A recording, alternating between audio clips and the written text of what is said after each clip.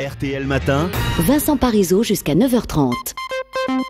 Il est 8h moins le quart, premier grand rendez-vous de cette édition spéciale de la matinale. Martine Aubry est l'invitée d'RTL et elle répond aux questions d'Alain Duhamel et Jean-Michel Apathy. Bonjour Martine Aubry. Bonjour. François Hollande est-il bien placé, selon vous, pour emporter l'élection présidentielle?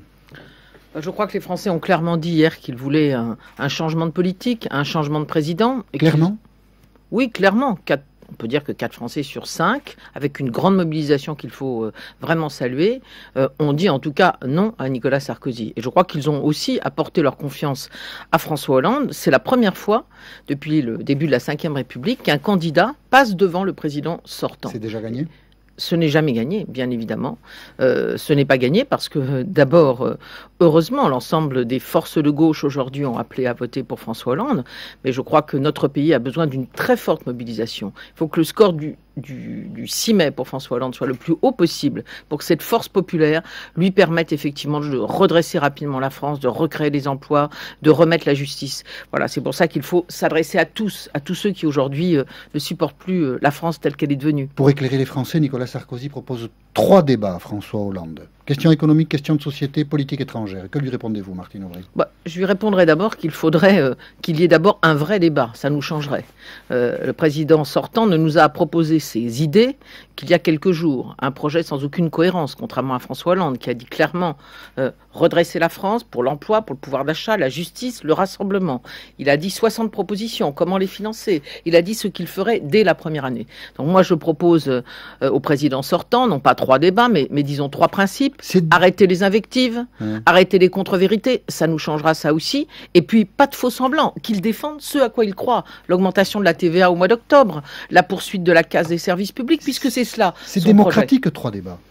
Je ne sais pas si c'est démocratique. Ce qui aurait été démocratique, c'est qu'on parle des problèmes des Français euh, pendant, depuis le début euh, de cette campagne. C'est-à-dire qu'on puisse parler plus d'emploi, plus de pouvoir d'achat, plus de l'éducation, plus de l'Europe et de l'avenir de la France dans le monde. Voilà ce qui aurait été démocratique. Nous l'avons fait auprès des Français, faute d'avoir en face de nous une droite qui accepte de parler de son, de son bilan et qui nous propose vraiment son, Donc vous son projet. qu'il y en ait trois. Martine Aubry, le, le score de Marine Le Pen vous a surpris ou pas?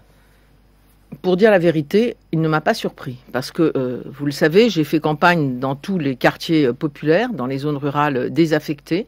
Le Front National est déjà haut en France depuis longtemps et je crois qu'il a été vraiment alimenté à la fois par la crise, à la fois aussi par les promesses non tenues, par la faillite morale. Je pense que beaucoup d'hommes et de femmes ne supportent plus de voir combien ils souffrent, combien ils se sentent perdus, humiliés et combien ils ont l'impression qu'on parle d'autre chose d'eux et surtout qu'on a fait une politique qui les a mis sur le côté. Donc moi, c'est à eux que je m'adresse, pas à ceux qui défendent les thèses euh, classiques du Front National, ça c'est le vote classique, mais à tous ceux qui pensent que finalement la politique ne peut plus rien pour eux, pour leur dire qu'ils sont au cœur du projet de François Hollande, remettre la justice partout, recréer des emplois, l'avenir de leurs enfants. Voilà, et à eux comme à ceux qui se sont abstenus, moins nombreux que prévu et tant mieux, je leur dis réfléchissez à votre avenir, celui de vos emplois, celui de vos enfants, le vôtre, et vous verrez qu'il y a un autre chemin possible, et c'est le vote François Hollande. Euh, très tôt, euh, hier, Ségolène Royal a dit qu'il fallait écouter ce que disaient les électeurs du Front National et, leur répondre. Qu'est- Qu'est-ce que la gauche en tant que telle peut dire à ceux qui en partie venaient de la gauche, et notamment en milieu Oui, ouvrier, et, et vo- et votent euh, aujourd'hui. C'est ce que pour je viens Marine de dire. Je pense qu'il y a un vote Front National qui est un vote euh, d'exclusion, Oui. de division, de, etc. Mais c'est pas la majorité. Enfin, je- j'en connais beaucoup des hommes et des femmes qui ont voté Front National. C'est l'impression, encore une fois, qu'ils n'ont pas leur place dans la société. Est-ce qu'il faut Je pense parler que cette crise- d'immigration, de sécurité pour euh, capter l'attention Je pense qu'il faut surtout parler d'emploi. Il faut surtout parler de leurs conditions de vie dans le logement. Il faut surtout parler d'accès aux soins. D'accès à l'éducation. Il faut parler bien sûr de ces sujets, mais on ne peut pas, comme ça a été caricatural hier soir, l'UMP nous a fait croire que euh, ceux qui votaient Front National ou qu'une partie des Français n'avaient qu'un problème en tête, s'opposer à ceux qui viennent d'ailleurs ou euh, les problèmes de sécurité. Les problèmes de sécurité, il y en a, ils sont considérables. 10 000 emplois supprimés, plus de police de proximité. Moi, je le vois dans mes quartiers, il Il n'y a plus de police. Jamais les violences n'ont été aussi importantes sur les personnes. La crédibilité sur la sécurité, elle a changé de camp. Les Français voient bien qu'aujourd'hui, ce sont les élus de gauche qui se battent le plus à leur côté sur ce sujet. Mais encore une fois, euh, je crois que le vrai, vrai sujet, c'est l'emploi, retrouver une place dans la société, être utile, être respecté, être dans des conditions de vie qui vous permettent d'avoir une autre idée de vous-même. Voilà ce que veut faire François Hollande, notamment par la politique du logement d'ailleurs et du redressement économique. Le, niveau atteint par Marine Le Pen, ça va créer quand même une pression supplémentaire, le fait qu'elle atteigne ses 18% euh, sur euh, celui qui sera le prochain président de la République. Oui, ça dit à celui qui sera le prochain président de la République, on ne peut pas accepter que des hommes et des femmes qui souvent viennent de familles euh, d'ouvriers, qui ont travaillé, qui ont construit la force de la France lorsqu'elle était forte, eh bien, soient laissés de côté aujourd'hui. Que leurs enfants ne puissent pas continuer euh, leurs études après le bac lorsqu'ils l'ont parce qu'il n'y a plus euh, de, de, structure pour les accueillir. J'étais il y a quelques jours à Denain, c'était exactement le cas. Et voilà ce que me disaient ces hommes et ces femmes. Donc il faut remettre de la République partout. C'est ce que propose François Hollande. Des services publics. Et il faut dire à chacun, votre place est dans la société. Et au lieu d'opposer, comme va le faire Nicolas Sarkozy, au lieu de diviser, au lieu d'opposer les Français d'ici et d'ailleurs, les Français de ces quartiers, les Français qui vont bien, les Français qui se lèvent tôt et ceux qui sont au chômage, il faut leur dire c'est la France entière qui va se redresser pour vous. Et c'est cela que défend François Hollande. L'ensemble des candidats de gauche euh, a indiqué hier soir son souhait pour le deuxième mmh. tour, c'est-à-dire soutenir François Hollande. Tous ne l'ont pas fait de la même façon. Et par exemple, Jean-Luc Mélenchon, dans son allocution, n'a pas prononcé le nom de François Hollande. Il a simplement dit il faut battre Nicolas Sarkozy. Est-ce que ce type de désistement vous satisfait? Il faut faire semblant d'être content, Martine Aubry, ce matin ah, Ou est-ce que vous y voyez quelque chose qui euh, relève tout de même d'une mauvaise humeur, voire d'une incompatibilité euh, entre les socialistes et Jean-Luc Mélenchon a fait un bon score, un peu moins que ce qu'on lui prédisait, mais a fait un bon score. Bon, il était peut-être un peu déçu hier soir. Moi, j'ai entendu un message clair et je pense que ses électeurs aussi. D'abord, et c'est très important, il a dit appelé à voter contre Nicolas Sarkozy sans condition, sans condition. Et il a dit d'ailleurs votez, allez voter, faites voter comme si c'était pour moi. Un peu plus tard dans la soirée, il a dit il y a un bulletin qu'il ne faut pas prendre, c'est Sarkozy. Il y a une attitude qui n'est pas la nôtre, c'est l'abstention, c'est le bulletin de François Hollande. Est-ce que ça ne présage quand même pas d'une gauche divisée? Écoutez, moi qui ai su réunir le Parti socialiste et qui ai vu hier soir avec plaisir que tous les partenaires avec lesquels nous avons signé les accords, les radicaux, les citoyens, les Verts, et ceux avec qui nous n'avons pas signé d'accord, mais qui défendent les mêmes valeurs que nous, je pense évidemment au Front de gauche, ont appelé sans condition à voter pour, France, François Hollande. Je pense que la responsabilité, c'est de savoir ce que les électeurs qui ont été portés sur eux ont dit. Et c'est ce que Jean-Luc Mélenchon a dit, battre la droite pour retrouver euh, la justice, pour retrouver une finance au service de l'économie, pour retrouver une Europe qui protège et non pas aujourd'hui euh, à tout vent euh, qui détruit nos emplois et nos entreprises. François Hollande a fait un score particulièrement élevé hier. Eva Joly a fait un score particulièrement faible. Il y avait eu un accord qui avait été passé hein entre le Parti socialiste et les Verts. Est-ce que ça modifie quoi que ce soit? Absolument pas. J'ai d'ailleurs porté euh, euh, ma signature en bas de cet accord, comme Cécile Duflot, et je ne suis pas une femme à renier mes accords.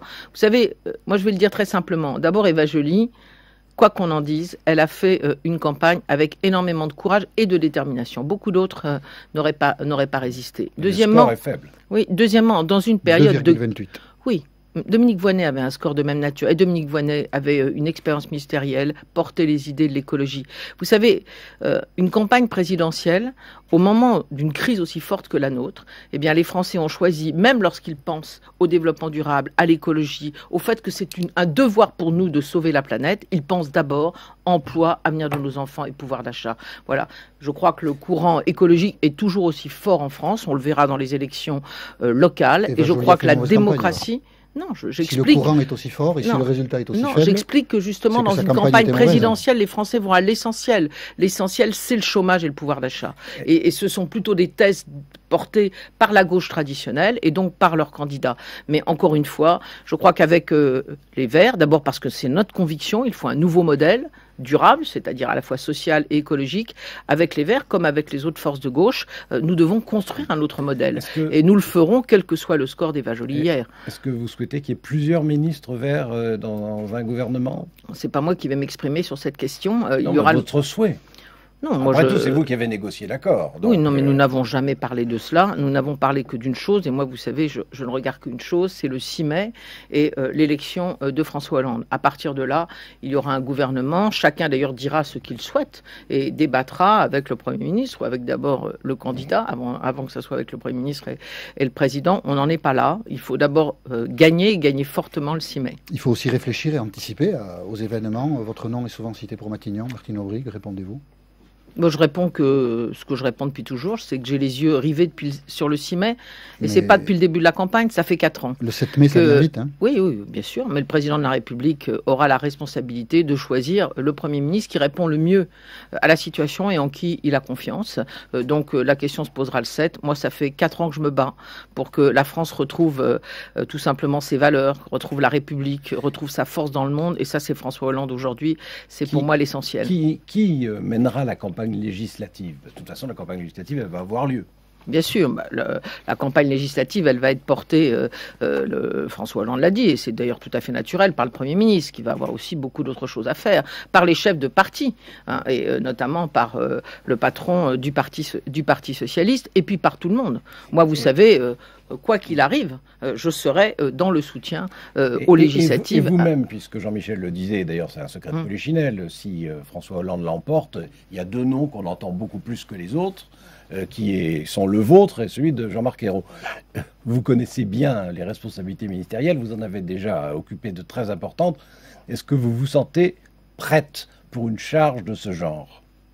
Le problème n'est pas d'être prêt. Euh, prêt C'est euh, une bonne question oui, vous sentez mais C'est une vraie question. Être prêt, bien sûr, mais c'est pas du tout le sujet. Être prêt, bien sûr, mais je pense qu'il y en a d'autres. Ce n'est pas le sujet. Le sujet, c'est le choix du président, et puis c'est aussi euh, ce que moi j'en penserais. Mais, euh, mais tout cela, c'est le ça Que je voulais dire ça fait quatre ans que j'ai les yeux rivés sur le 6 mai, et je ne changerai pas d'un iota avant le 6 mai. Voilà. Très rapidement, Martine Aubry, vous regrettez d'avoir qualifié François Hollande de gauche molle?